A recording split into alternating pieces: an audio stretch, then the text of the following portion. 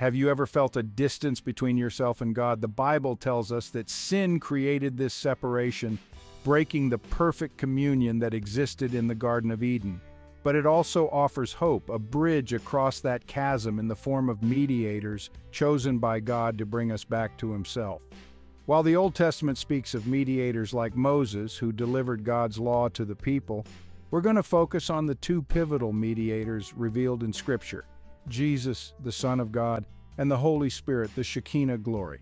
These two figures, divine yet distinct, work in perfect harmony to mend the broken relationship between humanity and God. Through their intertwined roles, we gain access to the Father not through our own merit but through the sacrifice of one and the indwelling power of the other.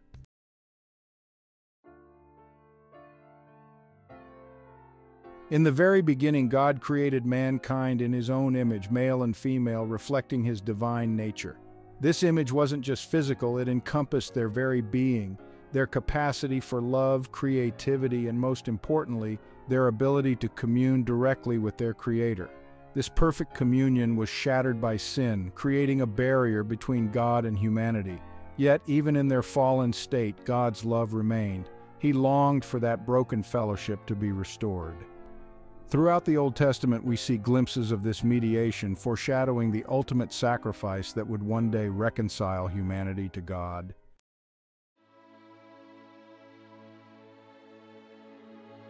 From the very moment sin entered the world, God set in motion a plan of redemption, a covenant of restoration. He promised a seed who would crush the head of the serpent, ultimately conquering sin and its consequences. This promise was a beacon of hope, a testament to God's unwavering faithfulness. Each covenant, each promise pointed forward to a future time when God's plan of redemption would be fully realized. These Old Testament accounts were prophetic glimpses into the very heart of God, revealing his deep love for his creation and his unwavering commitment to restoring what was lost.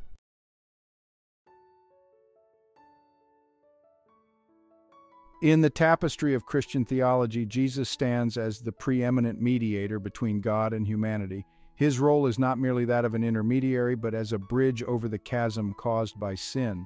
Jesus' mediation is anchored in his dual nature as fully divine and fully human, allowing him to empathize with our weaknesses and yet possess the authority to stand before God on our behalf.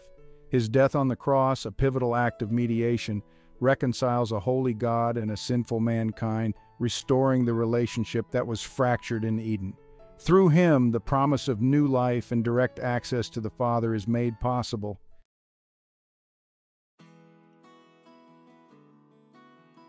The New Testament is filled with references that establish and clarify the mediating role of Jesus. Hebrews 9:15 describes him as the mediator of a new covenant through which those who are called may receive the promised eternal inheritance. The Gospels provide numerous accounts of Jesus' life and teachings which exemplify his role as mediator. Romans 5 8 to 10 expounds on how God demonstrates his own love for us, in that while we were still sinners, Christ died for us, and through his death we are reconciled to God. Each verse that speaks of Christ's sacrifice and intercessory role fortifies the believer's understanding and appreciation of his central role in our salvation.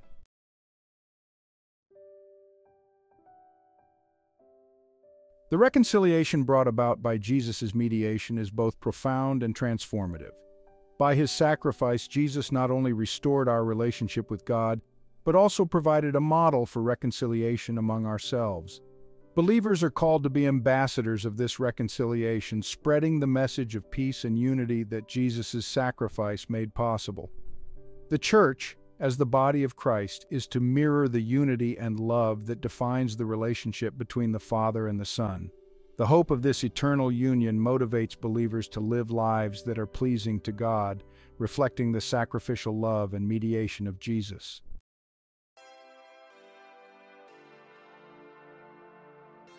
While Jesus' role as mediator is widely recognized, the Holy Spirit's equal importance in this divine dance of redemption is often overlooked. Just as Jesus is the bridge, the Holy Spirit is the living water that flows across it, bringing life and renewal to all who thirst for God. The Spirit empowers us to grasp the depths of God's love revealed through Christ and to live in the reality of that love daily. From the creation story in Genesis to the prophets who spoke God's word with boldness, the Holy Spirit has always been present, preparing the way for the Messiah's coming.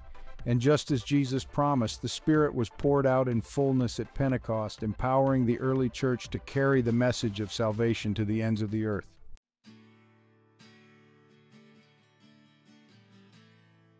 The Holy Spirit's work as mediator is woven throughout the fabric of Scripture, from Genesis to Revelation.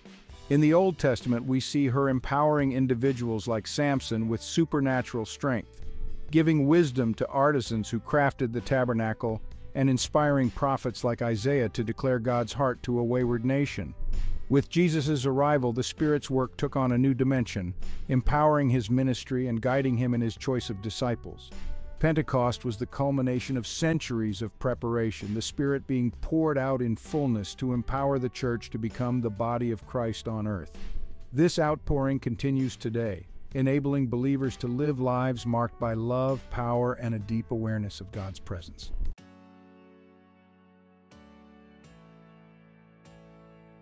The Holy Spirit's mediating work isn't confined to the pages of Scripture. It's a vibrant reality available to every believer today. Just as Jesus promised, the Spirit dwells within us, guiding, comforting, convicting, and empowering us to live lives that reflect God's character. Galatians 5 verses 22 to 23 beautifully describes the fruit of the Spirit love, joy, peace, patience, kindness, goodness, faithfulness, gentleness, self control. The Spirit's work goes beyond inward transformation. It empowers us to be Christ's ambassadors in the world. It's through the Spirit's guidance that we learn to pray effectively, to discern God's will, and to stand firm against the enemy's attacks.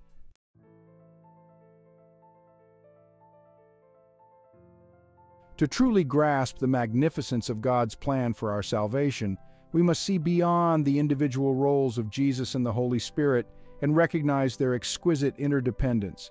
Consider Jesus' own words I will ask the Father, and he will give you another helper to be with you forever, even the Spirit of truth. The Spirit's mission is to illuminate the truth about Jesus, to make his glory known, and to empower us to live in the reality of his victory over sin and death.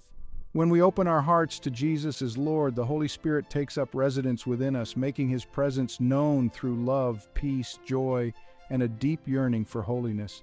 It's through this indwelling presence that we experience the transformative power of the cross and are empowered to live lives worthy of our calling.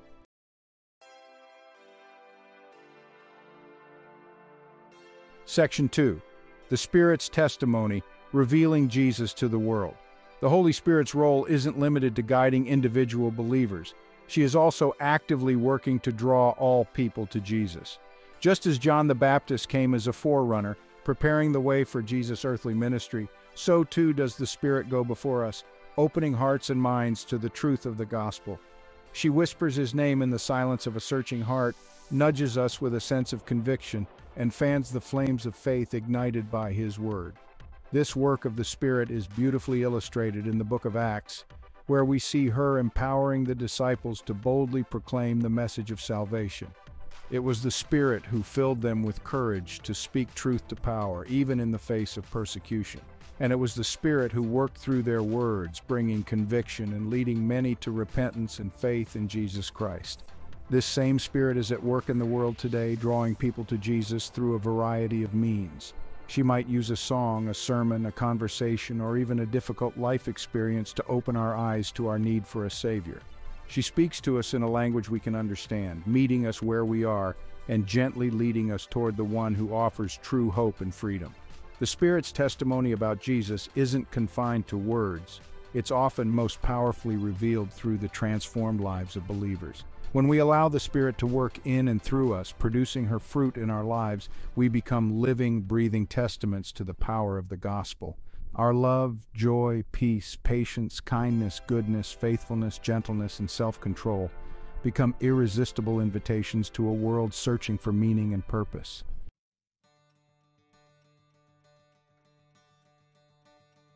Section 3 Living in the Spirit, Walking with Jesus. A unified experience. The Christian life isn't about choosing between Jesus and the Holy Spirit, it's about embracing the fullness of their intertwined work in our lives. It's about surrendering to the Spirit's guidance as we seek to follow in Jesus' footsteps.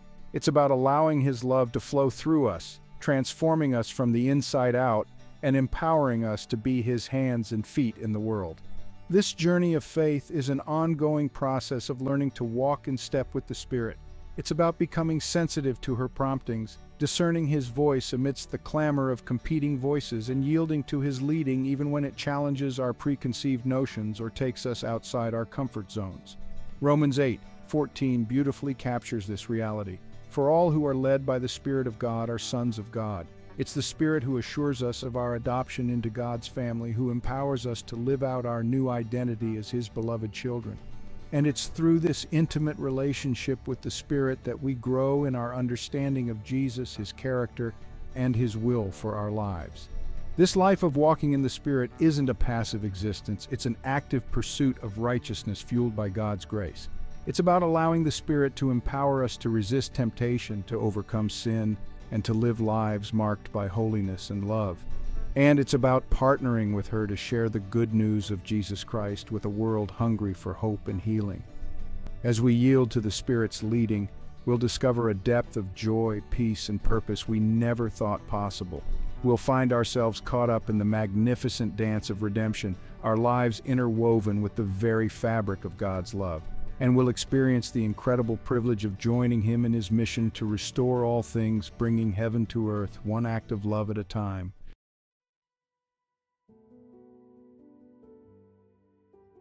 Section 1 Echoes of Eden, Fulfilling Ancient Prophecies. Throughout the Old Testament, God wove a tapestry of promises, prophecies pointing towards a time when the brokenness of this world would be healed and humanity would once again walk in intimate fellowship with their Creator. These weren't merely wishful predictions, but divinely inspired glimpses into the very heart of God, revealing his unwavering commitment to making all things new. The mediating work of Jesus and the Holy Spirit stands as the ultimate fulfillment of these ancient prophecies. Isaiah spoke of a suffering servant who would bear our griefs and carry our sorrows. Isaiah 53, 4. This prophecy found its perfect fulfillment in Jesus, who willingly took upon himself the sins of the world, offering his life as a ransom for many. But the restoration promised in Scripture goes beyond individual salvation. It encompasses the renewal of all creation. The prophet Joel spoke of a time when God would pour out his Spirit on all flesh. Joel 2 verses 28 and 29. This prophecy found its initial fulfillment at Pentecost, but it also points towards a future outpouring of the Spirit, a time when God's glory will cover the earth as the waters cover the sea. Habakkuk 2, 14. The book of Revelation offers a glimpse of this glorious future, describing a new heaven and a new earth where God's presence dwells eternally with his people. Revelation 21, verses 1 to 4.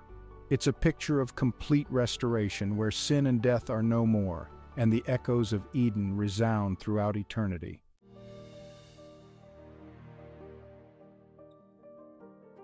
Section 2 The Two Witnesses Restoring God's Image in Humanity. The dual mediation of Jesus and the Holy Spirit isn't simply about bridging the gap between God and humanity. It's about restoring the image of God within us, enabling us to reflect His character to a broken and hurting world. When God created humanity, He declared that it was very good. Genesis 1. 31. This goodness wasn't just about their moral uprightness, it was about their capacity to reflect His love, creativity, and relational nature. Sin marred that image, but through Christ's sacrifice and the Spirit's empowering presence, we are being renewed, transformed into the likeness of Jesus Himself. This process of transformation isn't passive, it requires our active participation. As we surrender to the Spirit's leading, allowing her to shape our thoughts, desires, and actions, we become more like Christ, reflecting His love, compassion, and grace to those around us. We become living proof of God's redemptive power, walking testimonies to the truth and beauty of the gospel. This restoration of God's image within us has profound implications for how we live in the world. We are called to be agents of reconciliation, bridge builders in a world fractured by division, hatred, and injustice. We are to be peacemakers, reflecting God's heart for unity and wholeness in our families, communities, and nations. And as we partner with the Spirit in this work of restoration, we'll discover that we are not alone.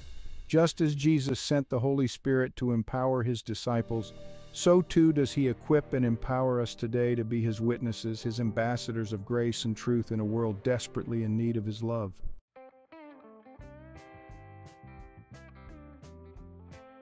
Section 3 Our Response Living as Witnesses of Reconciliation. Understanding the dual mediation of Jesus and the Holy Spirit should evoke more than just intellectual assent. It should ignite within us a passionate response, a desire to live lives that reflect the transformative power of this divine partnership. We are called to be more than just admirers of God's grace. We are invited to be active participants in His ongoing work of redemption. So how do we respond to this incredible gift of mediation? First and foremost, we must surrender our lives to Jesus Christ, acknowledging Him as Lord and Savior. It's through this act of surrender that we receive the Holy Spirit, who empowers us to live out our new identity as children of God. We are then called to cultivate an intimate relationship with the Spirit, seeking her guidance through prayer, scripture reading, and fellowship with other believers. As we grow in our understanding of God's love and grace, we'll find ourselves compelled to share this good news with others. The Spirit will empower us to be bold witnesses, sharing the message of hope and reconciliation with a world longing for meaning and purpose. We'll discover that our lives become love letters written not with ink but with acts of kindness, compassion, and forgiveness. This life of faith isn't always easy. There will be challenges, setbacks, and times when we feel inadequate for the task. But we can take heart in knowing that we are not alone. Jesus, our ever present mediator, intercedes for us before the Father, and the Holy Spirit empowers us to persevere, to stand firm in our faith, and to continue reflecting God's glory to a world in need of His light.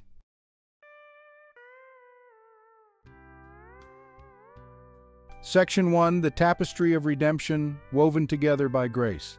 As we've journeyed through Scripture, exploring the profound roles of Jesus and the Holy Spirit as our mediators, We've uncovered a truth that's both awe-inspiring and deeply personal. God, in His infinite love, has meticulously orchestrated a plan to redeem and restore humanity, weaving together a tapestry of grace that spans from eternity past to eternity future. Each thread, meticulously placed, speaks to His unwavering commitment to bring us back into intimate fellowship with Himself. We've seen how Jesus, the Son of God, willingly embraced the role of the suffering servant, bridging the insurmountable chasm between a holy God and a sinful humanity through his sacrificial death on the cross. He became the ultimate mediator, the bridge over which God's love and forgiveness could flow freely to all who believe. Yet this bridge wouldn't be a static structure, but a living, breathing conduit of grace, empowered by the very presence of God Himself, the Holy Spirit. The Holy Spirit, the Shekinah glory, emerges from Scripture not as a shadowy figure, but as a distinct person of the Godhead, actively involved in every aspect of our redemption. From the very beginning, she hovered over creation, bringing order out of chaos and breathing life into being. Throughout the Old Testament, we witnessed her empowering individuals, guiding nations, and preparing the way for the Messiah's arrival and with Jesus' ascension to the Father, the Holy Spirit was poured out in fullness, equipping and empowering the early church to carry the message of salvation to the ends of the earth. This same Spirit continues to work in and through believers today, guiding us into all truth, revealing Jesus to the world, and transforming us into His image.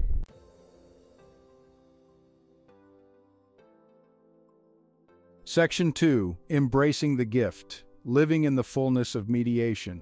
The dual mediation of Jesus and the Holy Spirit isn't just a theological concept to be studied, it's an invitation to experience the fullness of God's love and grace in our daily lives. It's about embracing the reality that we don't have to navigate this life on our own strength, relying on our own limited understanding or flawed efforts. We have been given an incredible gift, two divine advocates who long to guide, empower, and strengthen us every step of the way. To fully embrace this gift, we must first cultivate an intimate relationship with both Jesus and the Holy Spirit. We do this through prayer, spending time in God's Word, and seeking fellowship with other believers. As we draw closer to Jesus, allowing His love to permeate every aspect of our being, the Holy Spirit will fill us with her presence, guiding our thoughts, desires, and actions. We must also be willing to surrender our lives to the Spirit's leading, even when it challenges our preconceived notions or leads us down paths we wouldn't naturally choose. It's in those moments of surrender, those acts of obedience, that we experience the transformative power of God's grace most profoundly. It's in those moments that we discover the truth of Jesus' words For whoever wants to save their life will lose it, but whoever loses their life for me will find it. Matthew 16, 25. Living in the fullness of mediation means allowing the love of Jesus and the power of the Holy Spirit to flow through us like rivers of living water, refreshing our souls and impacting the world around us. It means becoming vessels of His grace, reflecting His light into the darkest corners of our world.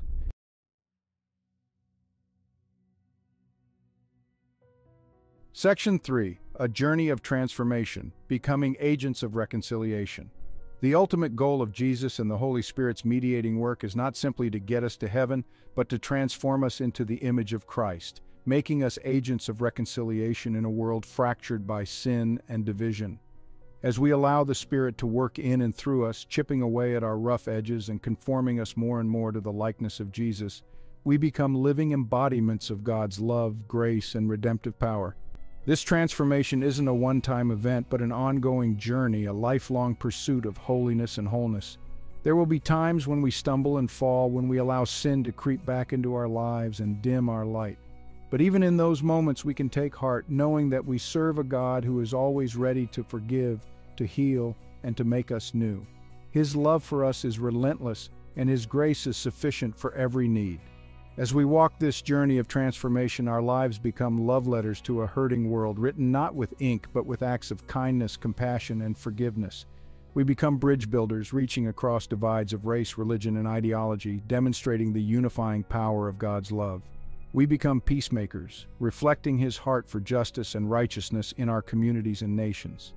And as we partner with the Holy Spirit in this work of reconciliation, we'll discover the truth of Jesus' words Peace I leave with you, my peace I give you. I do not give to you as the world gives. Do not let your hearts be troubled and do not be afraid. John 14, 27. We'll find a peace that surpasses all understanding, a peace that empowers us to face the challenges of this life with courage, hope, and an unshakable trust in the one who holds our future in his hands.